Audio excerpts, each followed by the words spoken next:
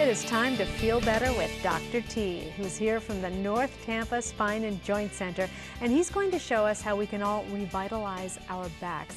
And I really am intrigued by this because we, you know, in a perfect world, we would all sit up straight and never slouch. But 99% of us do this. Precisely, no one does. Yeah, right. So how do we, what, what are you sitting on Okay, right so now? what I'm doing is instead of those big physio balls that people sit on, and it makes a lot of sense, right? Mm-hmm. This is an alternative to not having that big bulky ball around. Which okay? I've had here at work, by the way. So this is made by Back Vitalizer, okay? Uh-huh. It's basically an air cushion you sit on, and it does the same thing as the ball, but without the giant ball. Hmm.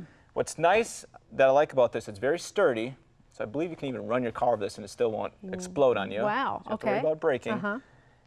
Here, why don't you give it a try? I would like to give it a try. So it's not filled with air or anything. There's something in there. bit. Okay, there's there's a little bit of air. in there. Partially, just enough to kind of float your pelvis off the chair. Oh, So it keeps the muscles active, it keeps hydration to the discs as you're moving, promotes circulation, increases energy.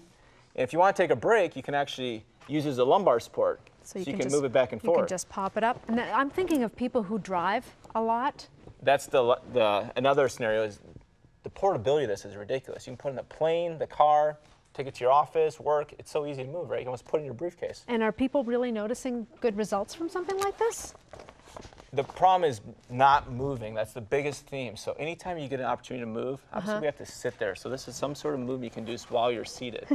So this so forces me. fantastic. This forces me to engage Yeah, you can do a while little- I'm just sitting. A little butt dancing, right? It's a little butt dance, and that in turn keeps everything moving nicely. Reduces pain, saves you money in the long run. I like it. Dr. T, good stuff. You can get more information by going to mydrt.us.